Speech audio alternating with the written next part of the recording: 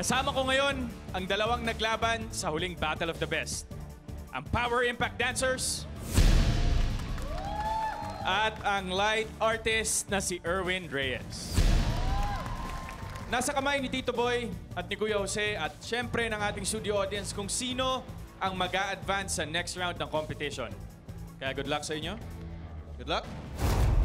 Oras na para malaman kung sino ang nanalo dito sa Battle of the Best. Jose, Tito Boy, kailangan nyo na po magdesisyon. And to our studio audience, meron kayong 10 seconds para bumoto. Kaya everyone, give your battle star now.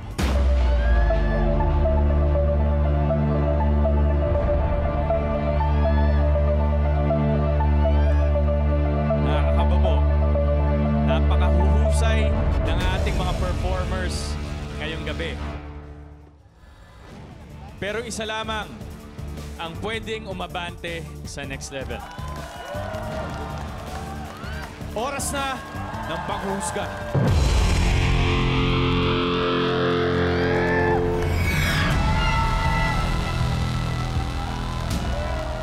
Ang unang battle star ay bibigay ni Tito Boy.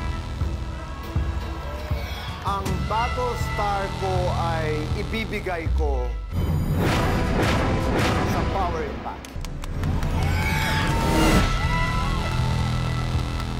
Ang pangalawang battle star ay bibigay ni Kuya Jose. Yung battle star ko naman ay ibibigay ko.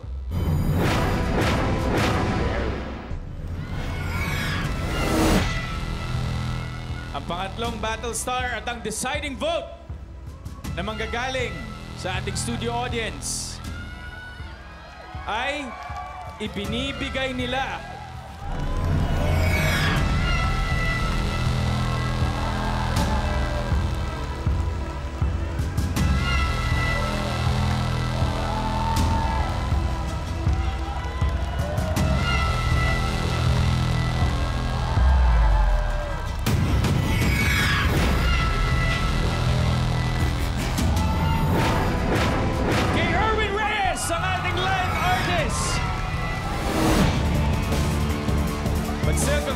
congratulations to Power Impact Dancers. Napakaganda ng naging performance nyo tonight.